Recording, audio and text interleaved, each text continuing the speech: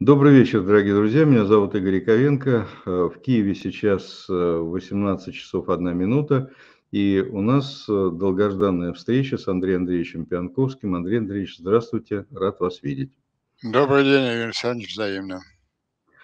Андрей Андреевич, я хочу прежде всего, я сейчас не буду касаться тех сиюминутных событий, которые происходят, там все, все эти, так сказать, слияния двух сердец – Путина и Такера Карлсона. Это, если останется время, может быть, пару минут скажем. А самое главное, это вот э, то, что происходит э, в Конгрессе Соединенных Штатов Америки и в избирательной кампании. Триумфальное шествие э, Трампа, явно, что он уже полностью контролирует республиканскую партию, ну, по крайней мере, так это видится, и блокирование блокирования украинской помощи Украина становится жертвой э, политических амбиций Трампа. И вообще, как вы оцениваете вот это явление трампизм, который явно надвигается на, на Соединенные Штаты Америки?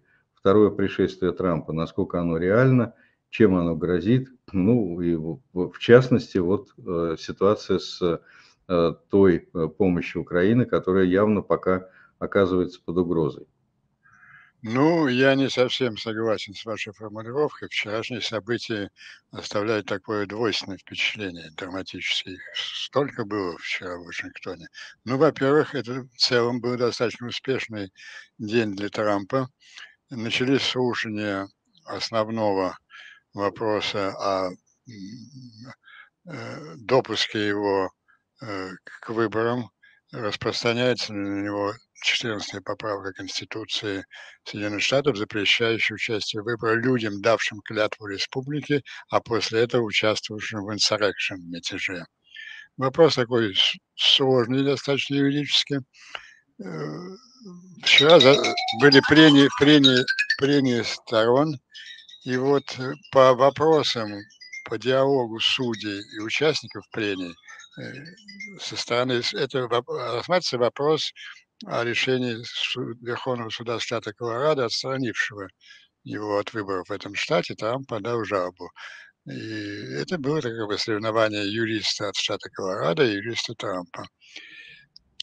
По вопросам, задаваемым судьям, чувствовался и скептицизм в отношении распространения вот этой 14 поправки для Трампа.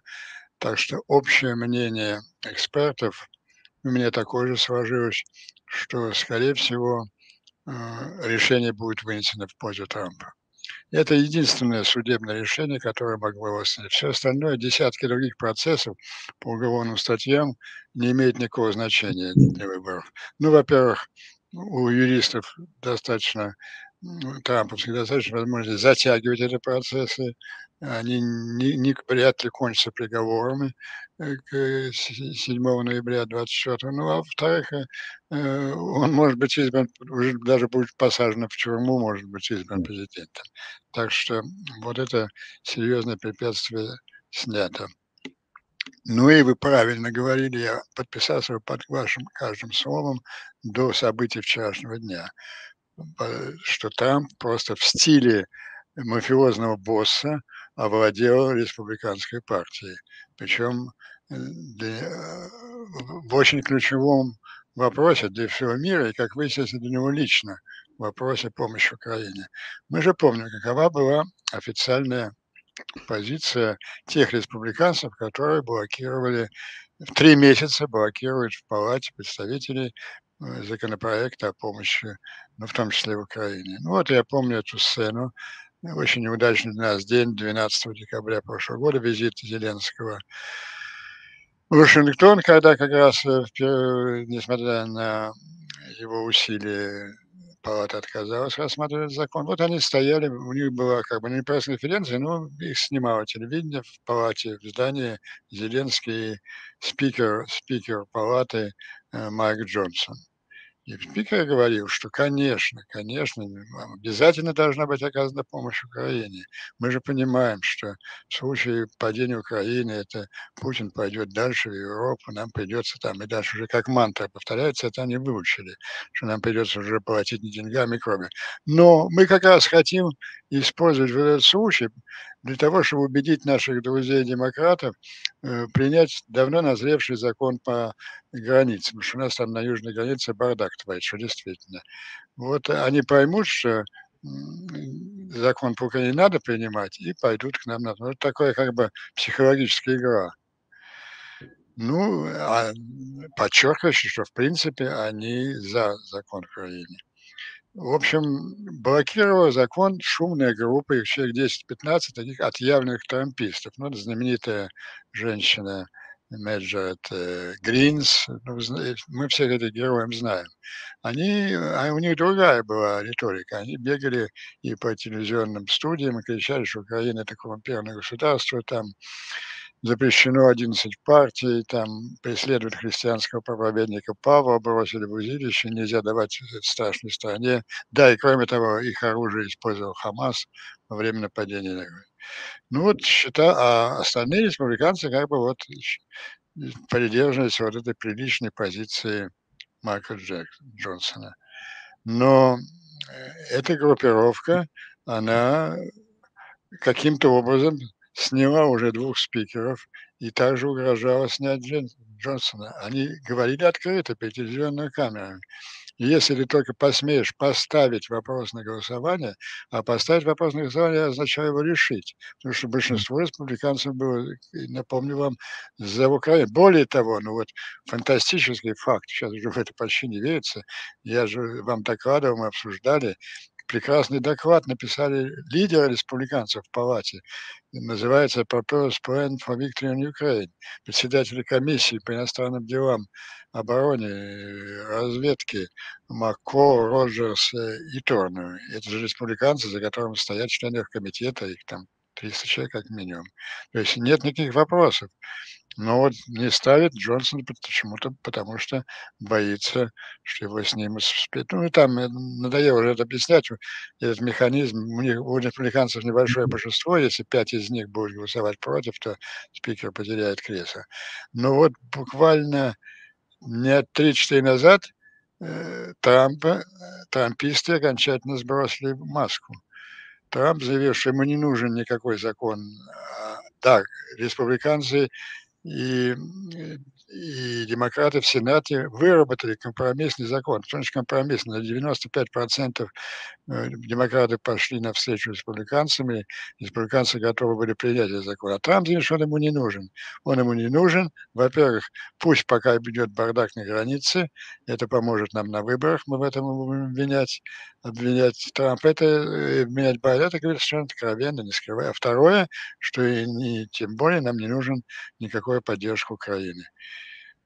Он установил, вот сенсационное заявление сделал позавчера вечером вот руководитель группы республиканцев, которые выработали этот совместный проект по, по границе, он сказал, что мне угрожали люди, близкие Трампу, угрожали, что если мой законопроект будет принят, они меня просто уничтожат.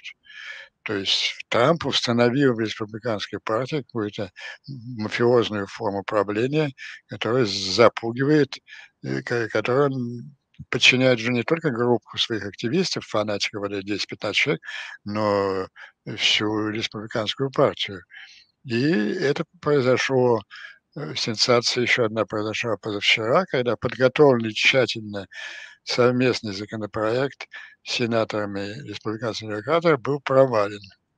Надо отдать должность, должное лидеру демократической партии э, в Сенате Шумеру.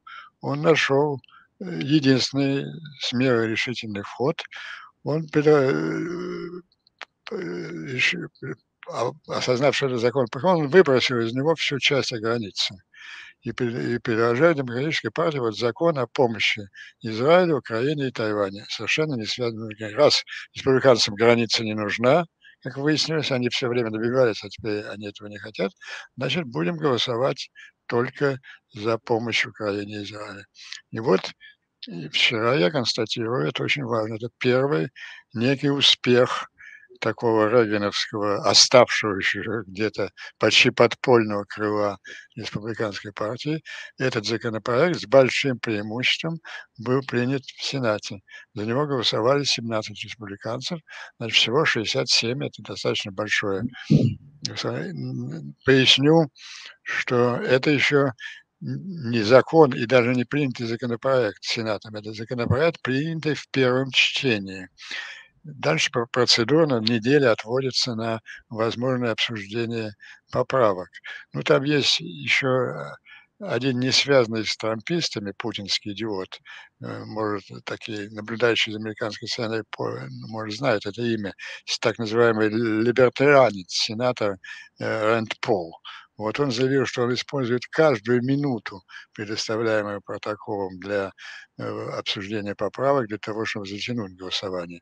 Но, тем не менее, через по расчетам, где-то во вторник этот законопроект будет принят, после чего очень важно, весь политический бомон, такой внешнеполитический американский, отправляется в Мюнхен на заседание, на сессию ежегодную по безопасности Мюнхенская знаменитая конференция.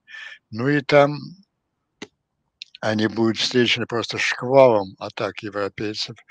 Вся эта Мюнхенская конференция будет посвящена, конечно, ну, Израилю, Украине, но прежде всего Украине. И Европа же осознала вот эту опасность трампизма, который Трамп просто мафиозными методами овладел республиканской партией. По, по крайней мере, так казалось до вчерашнего дня вот э, вчерашняя, э, вчера был сделан важный шаг к освобождению от его ярма в республиканской партии, и окончательно это мы увидим результаты уже, видимо, где-то в середине следующей недели, когда этот законопроект окончательно будет принят Сенатом и, и, и представлен на рассмотрение в палате. Вот я, несмотря на очень мрачное картину вот этого надвигающегося трампизма, вообще полной неадекватности американской политической системы, чудовищной вчерашней пресс-конференции Байдена, которая будет иметь серьезные внутриполитические последствия, я думаю, мы еще об этом поговорим, все-таки я настроен оптимистически. Я полагаю, что этот закон пройдет в палате, ведь для этого нужно ну, буквально э, там десяток голосов республиканцев. А я уже говорю, если взять только одних вот председателей комитетов, которые прекрасный доклад написали о том, критикующий Байдена за недостаточную поддержку Украины, я думаю, что вчера это очень, несмотря на триумф э, Трампа, э, это серьезный его успех в Верховном суде, пока, правда, формально не закрепленный. Вот я считаю, что это гораздо более существенное поражение.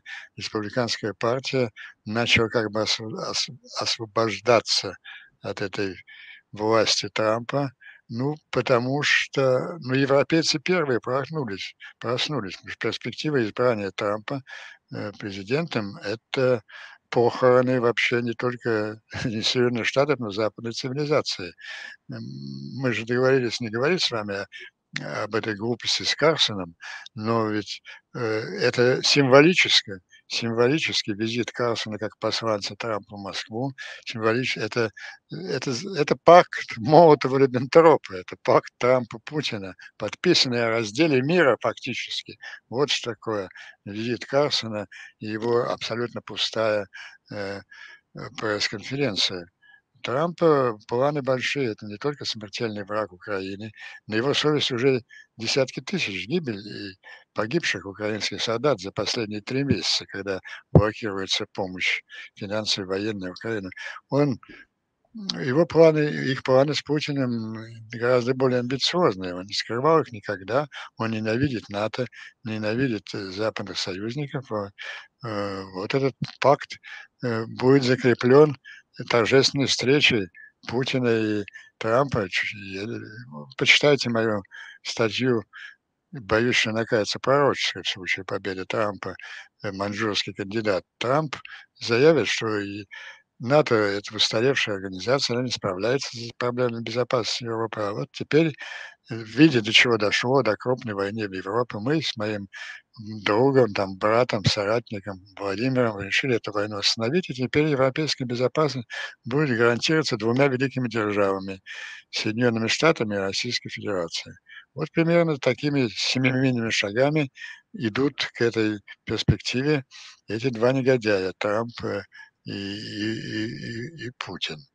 Что будущее Америки и Запада и всего мира зависит сейчас э, от того, будет ли остановлен Трамп на пути к Белому дому. Вот э, эти 17 республиканцев, голосовавших вчера в Сенате за поддержку Украины, это первый знак такого разворота в республиканской партии. Если оно достигнет достаточной глубины, а я вот надеюсь еще на эту европейскую конференцию, да, даже до конференции сейчас в Вашингтоне сплошное паломничество европейских лидеров. Шольц вот прибывает, были Кэмерон, Стоунер, они даже не с Байденом встречаются, они встречаются с американской партией. Они объясняют вот эту громадную опасность, нависшую, нависшую над миром. Андрей Андреевич, э, несколько технических вопросов просто к вам, как э, к человеку, э, смотрящему за американской политикой. Первый, может быть, вопрос, который покажется не очень значимым. Вот в ноябре Трамп говорил о том, что он раздумывает, не предложить ли Такеру Карлсону пост вице-президента. Насколько вы считаете это реально? Потому что я-то считаю, что это было бы здорово, это был бы момент истины – и тогда уже э, остатки каких-то каких-то одежд э, и вот весь этот трампизм предстал бы во, во всей своей первозданной э, ноготе, потому что Такер Карлсон это, это как бы карикатура на трампизм, если так можно выразиться. Это вот как раз та самая постправда, это все, это концентрированный трампизм, это было бы здорово. Насколько вы считаете реальным такой мелкий, кажется, вопрос, но мне кажется... Нет, это вопрос очень существенный. Это вот эта аналогия пакту Мотова-Риббентропа. Это э, уже откровенные связи. Они, а то, что они сейчас не стесняются, Путин с Трампом, этим визитом, это показывает, что сегодня он находится в коротком шот-листе. Другие там гораздо более блеклые фигуры. Это вполне, вполне реальный вы вариант. Вы считаете, что шанс на то, что на, на то, что э, Такер Тарсон будет э, вице-президентом, он, э, вы считаете, что не нулевые шансы, да? Ну, во-первых, я считаю, я должен это считать, потому что я не могу себе представить конец западной цивилизации. Я считаю, что Трамп не будет президентом. Но а, то, нет, что, ну, понятно, но да. то, что но... Трамп, Трамп выберет э, именно Карлсона, своим э, напарникам, ну, это примерно 50%, а почему нет?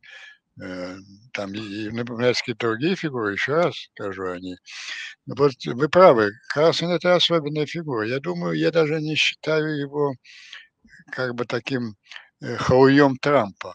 Вот Нет, он, он гораздо более Э, больше гораздо Трампи, вот в ненависти к Украине и к любви к Путину, он всегда превосходил Трампа, превосходил Трампа. Поэтому э, этот визит, э, Путин его использует скорее, скорее это не, не э, смысл вот этой сейчас встречи Путина с Карсоном. Это не столько Карсон приехал с каким-то месседжем от Трампа, сколько Путин Э, направляет Карсона окончательно как своего, своего человека в ближайшем окружении Трампа. Вот какова роль Карсона. И вы правы, если они это пойдут, э, то это один из сценариев, при котором Трамп ну, абсолютно проиграет эти выборы. Но а, меня, э, меня вдохновляет то, что они сейчас, у них такое ощущение, что они ничего не боятся. И вот видите, с, с Украиной, какую они тонкую игру играли, чтобы как бы не отчуждать значительную часть. Нет, нет, мы за Украину, но только мы хотим границы. А сейчас граница отброшена, все, никакой помощи Украине, надо налаживать отношения с Путиным. Они уже почувствовали приближение к власти и, и ничего не стесняются. И на этом пути Трамп будет делать одну ошибку за другой и консолидировать своих противников. Единственное, кто его могут остановить, конечно, это вот пробуждение республиканской партии.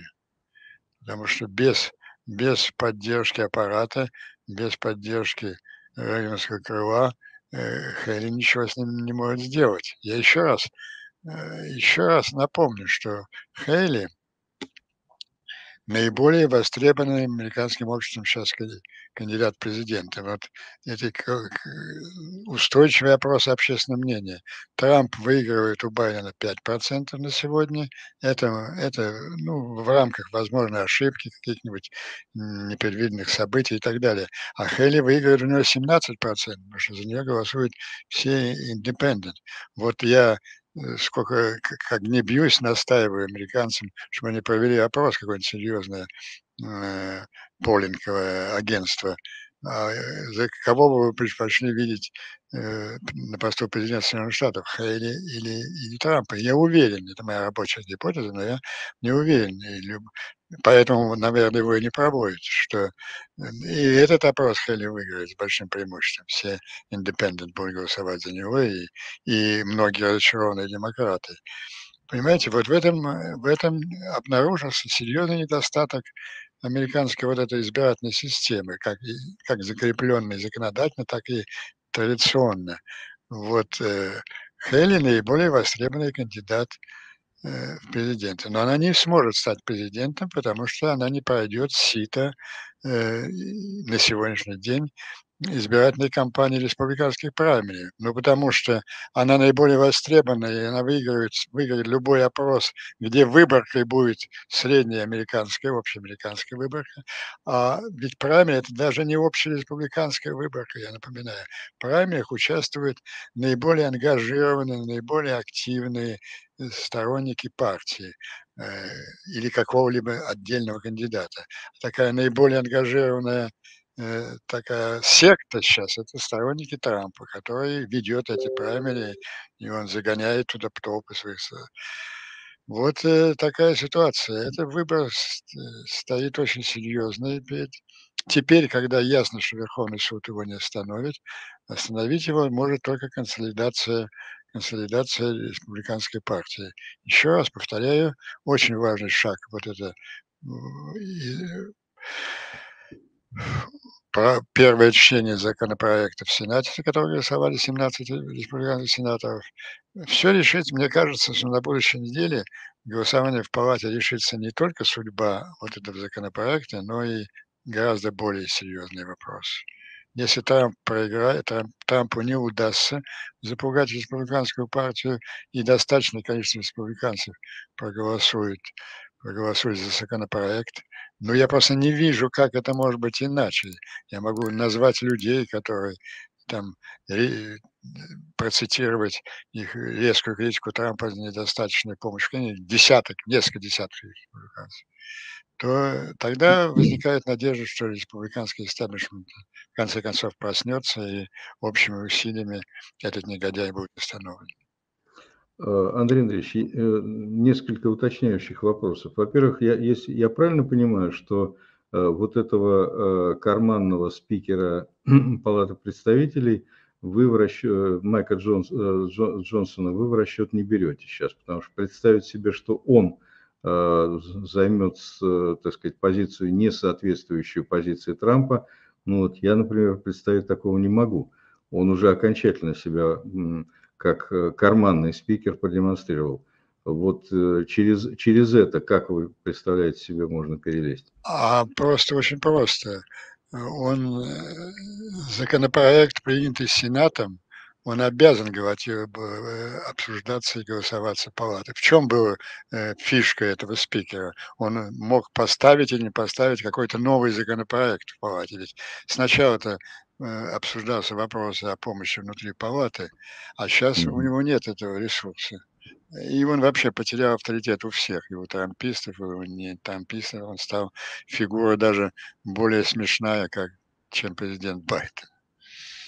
Ну, понятно. То есть вы считаете, что все-таки э, единственный, кто может остановить Трампа, это республиканская партия? Да, да, конечно. Понятно.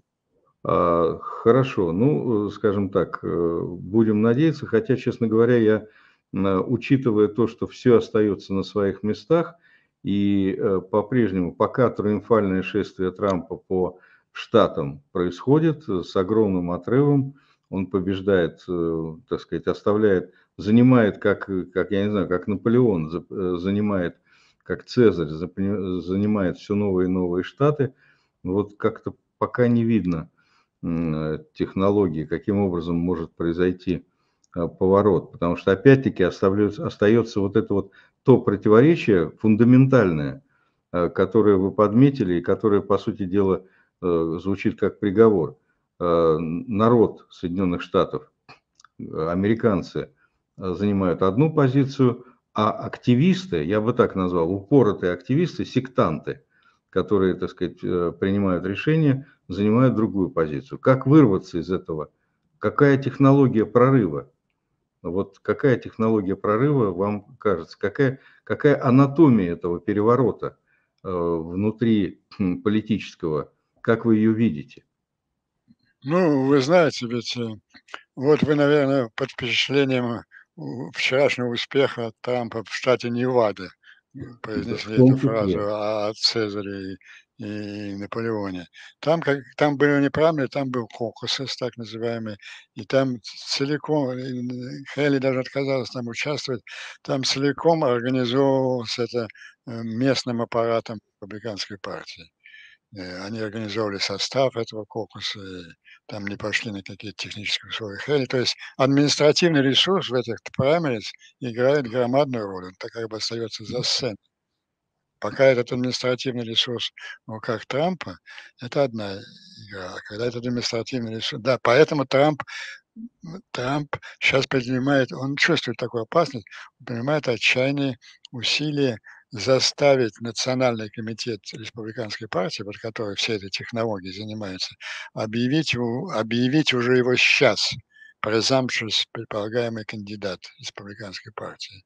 Это закрепит его уже все тогда позиции в штабах будущих праймери и так далее. Э, если аппаратчики республиканской партии примут другое решение, то сопротивление, сопротивление ему возможно. Но возможно всякие экзотические варианты. Э, возможно выдвижение Хейли э, кандидатом третьей партии правда, есть очень сильное ограничение, не юридическое, но как бы моральное. Ведь когда начинались дебаты, там было 12 человек, помните, и Трампа приглашали, и всех, э, организаторы дебатов поставили условие, что каждый участник должен заявить, что независимо от исхода, он всегда поддержит кандидатуру, вынятую республиканской конвенции.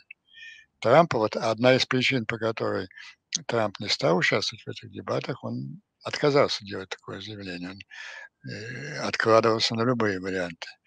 А Хейли, она как бы связана вот этим ограничением. Тут спорный вопрос, насколько это ограничение юридическое, политическое и так далее. Но я предлагаю совершенно невероятный вариант, который стал более вероятным после того события. Давайте я уж все к нему прорываюсь, а вы меня не даете Э, нет, нет, я, я, я, я понял, что к чему вы ведете. Это, это вчерашняя, вчерашняя да, чудовищная да. пресс-конференция Байдена. Вы знаете, это была какая-то сцена вот, из романа Достоевского. Э, жалкий, несчастный старик отбивается от негодяев, кричащих на него, шпыняющих его, и произносит, как вы смеете говорить мне, что я не помню год э, смерти моего сына. Почему вы меня мучаете? Где вы, где мы, где я здесь нахожусь? Почему вы меня мучаете? Перестаньте. У меня прекрасная память. My memory is fine. Я вчера разговаривал с президентом Мексики Сиси. Это было чудовищно. Мне просто, у меня нет никаких политических симпатий к Байдену. Я считаю, что он несет за сегодняшнюю ситуацию в Украине, он, э, он несет ответственность не меньше, чем негодяй Трамп, блокирующий помощь. Если бы помощь предоставлялась в необходимых масштабах, да хотя бы даже если бы то, что сегодня, мы уже помним, с каким трудом все это, даже то, что было бы сегодня в руках украинцев там и, и да, э, танки и, э, и, и ракеты дальнобойные те же. Это, если все это было бы в августе прошлого года, не позапрошлого, во время наступления на Харьков и, и Херсон, то тогда бы все бы кончилось разгромом российской армии. Но мне бы просто, это ужасное зрелище было. кто догадался его вытащить на, на эту пресс-конференцию, он был в бешенстве, конечно, ну потому что э, его обвиняли в том же так называемом преступлении, как и Трампа, там хранение несанкционированное э, документов, представляющих государственную тайну, да, и тот, и другой где-то их хранили дома. Но вот приговор, решение специальной прокурорской комиссии, там оказалось, выяснилось, что этот прокурор, давний сторонник Трампа, было очень тонко издевательским.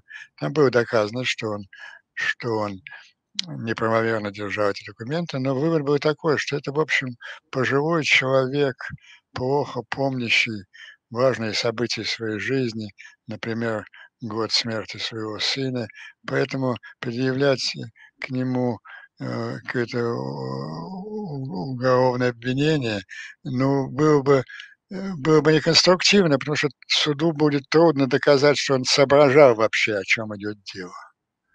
Ну, понимаете, это, это, это страшнее, чем любое привлечение в суду за несанкционированное хранение. И он вышел, стараясь опровергнуть вот это обвинение, а вот получилось ужасно. Но сегодня же утром республиканцы, конечно, поставили вопрос о 25-й поправке Конституции, об отстранении Байдена от должности президента по его ментальное несоответствие.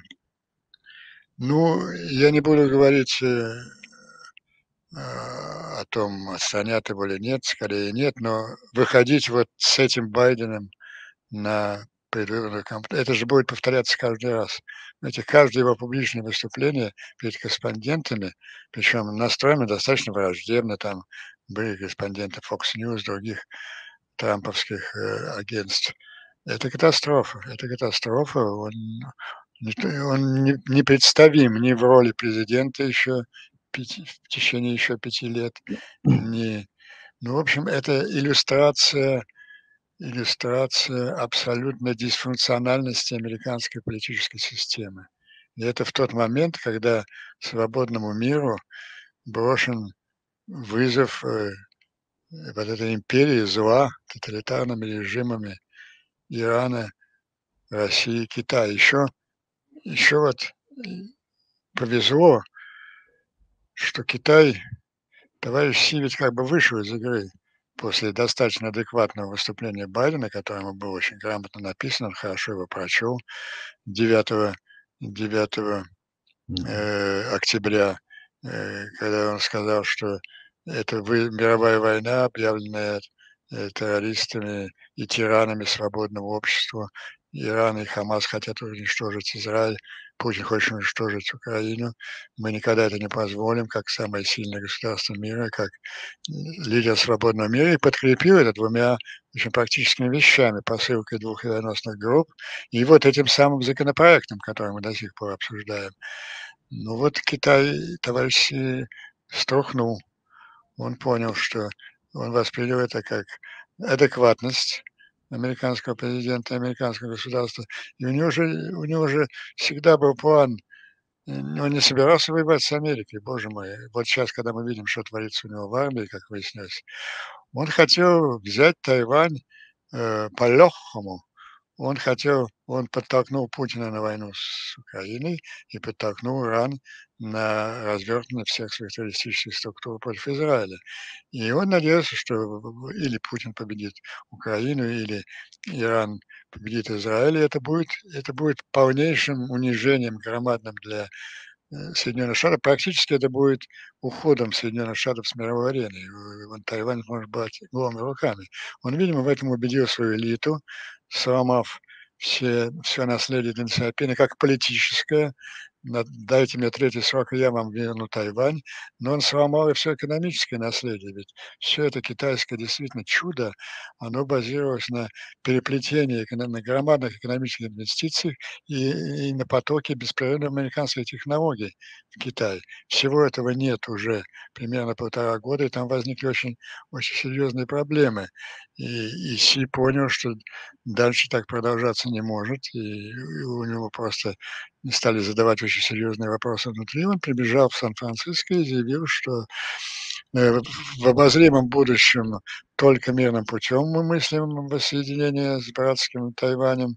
А вообще, ребята, мне очень нужны американские технологии и американские инвестиции.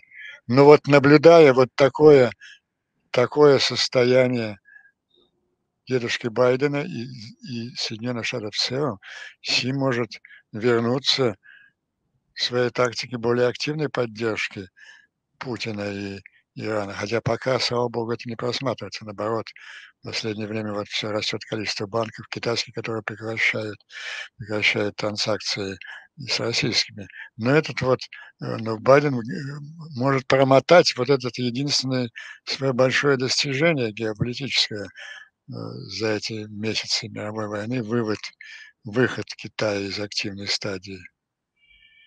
Очень серьезная ситуация, конечно.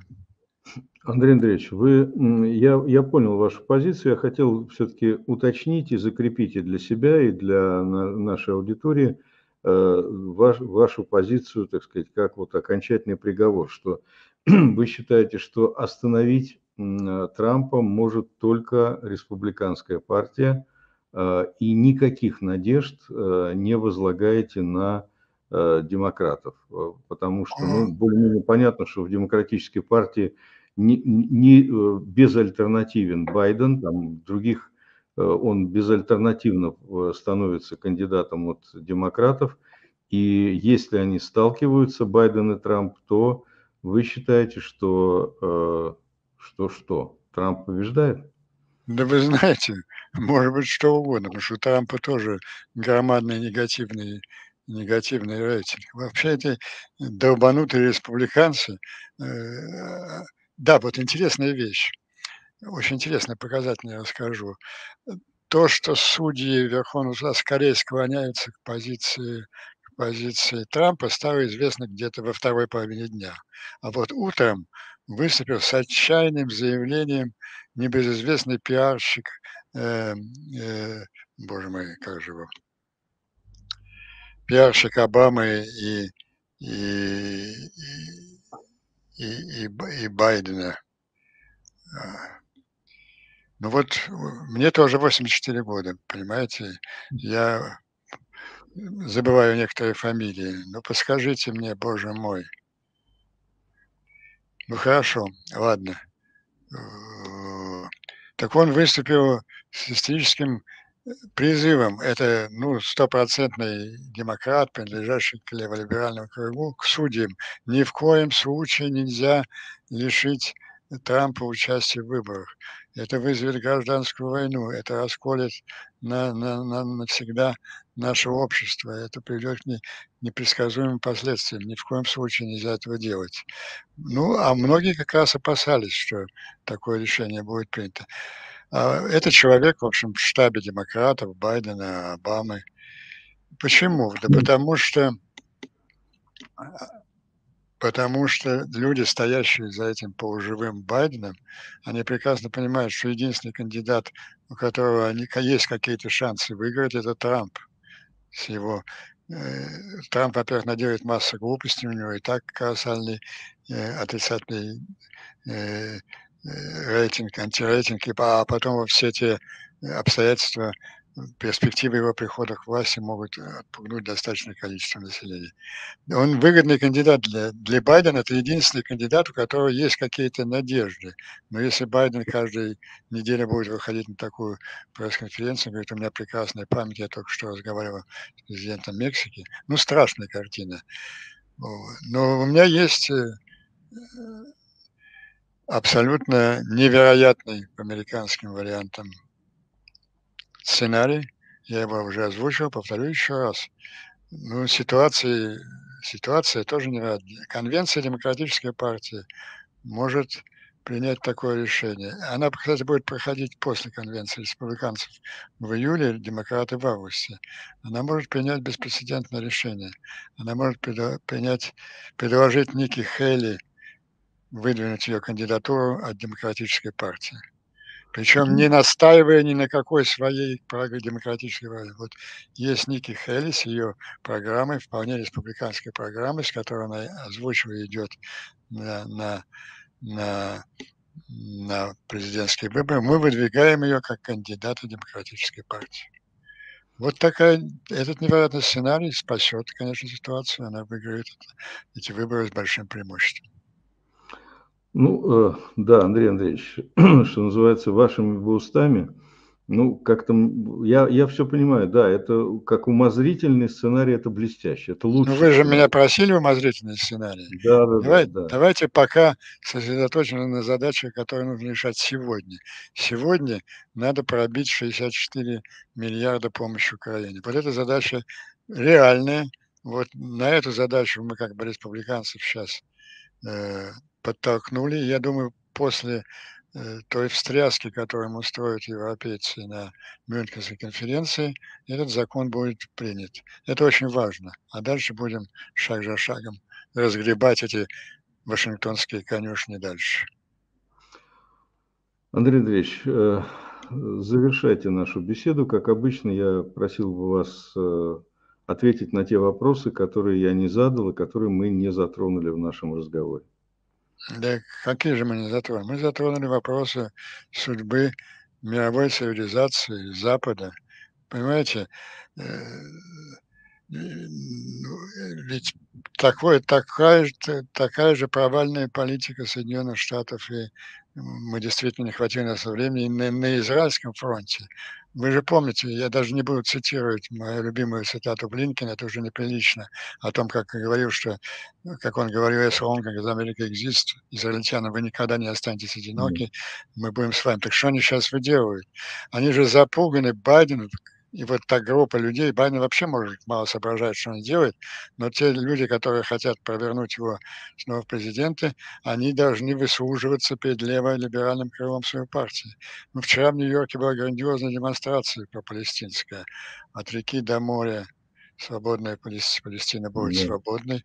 И Байден а, или вот э, лица, работающие от лица Байдена, оказывают громадное давление на даже на вчерашней пресс-конференции, уже, уже убежав с этой конференции, э, опозоренный, униженный, он вспомнил, видимо, остатки сознания какой-то э, методички поучения, вернулся и произнес, что он осуждает Израиль за чрезмерное использование военной силы в Газе.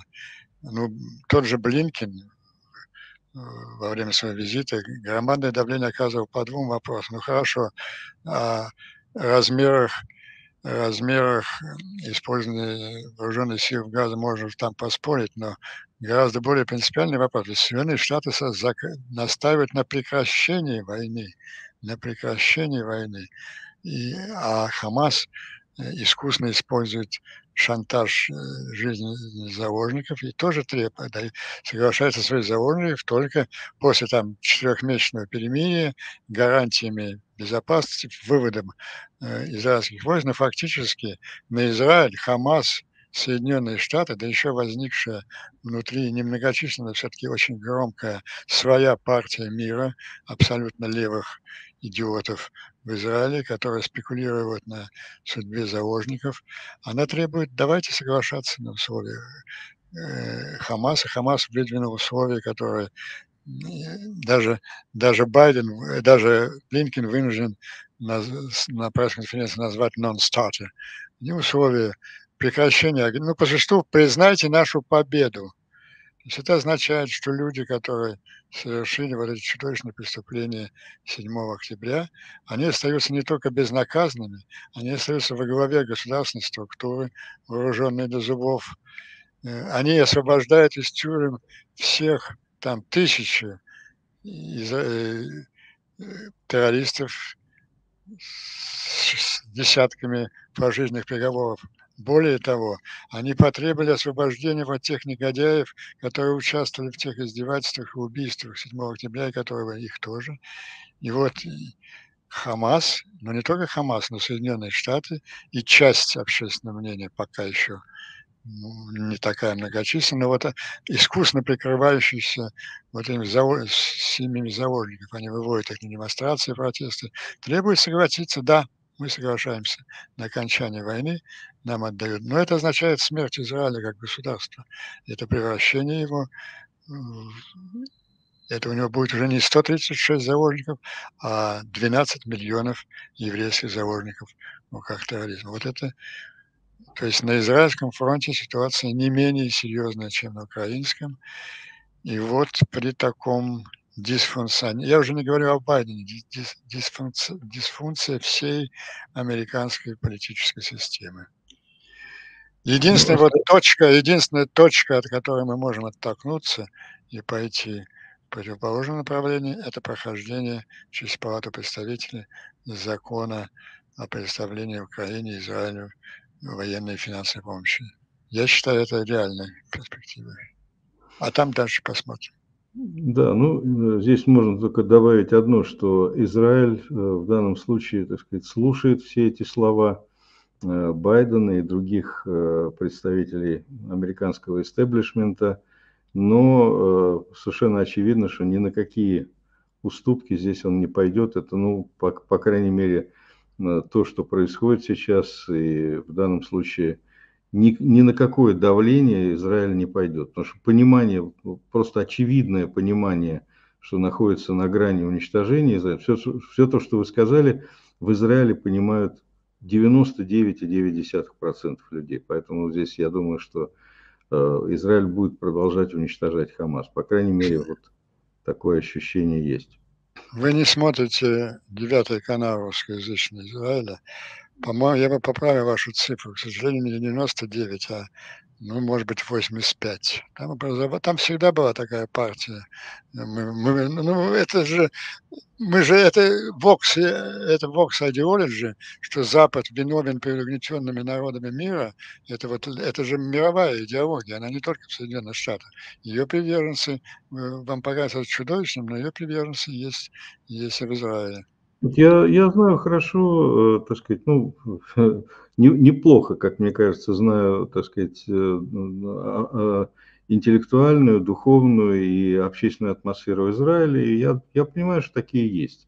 В Израиле есть антисемиты, вот, э, в Израиле есть люди, которые считают, что Израиля вообще не должно быть, в принципе. Есть антисионисты в Израиле. Это все, все весь этот расклад известен, но их все-таки меньшинство. И политическое руководство Израиля, мне кажется, не допустит вообще того, чтобы это все повлияло. Ну, впрочем, это, я думаю, что мы можем это обсудить еще дополнительно. А сейчас огромное спасибо, Андрей Андреевич. Дорогие друзья, с нами был Андрей Андреевич Пианковский, наш смотрящий за американским истеблишментом. Спасибо вам большое за ваш анализ, за ваши мысли и за ту надежду, которую вы всякий раз даете. Огромное вам спасибо. И надеюсь, до скорой встречи. Всего вам доброго. Спасибо, до следующей встречи. До свидания.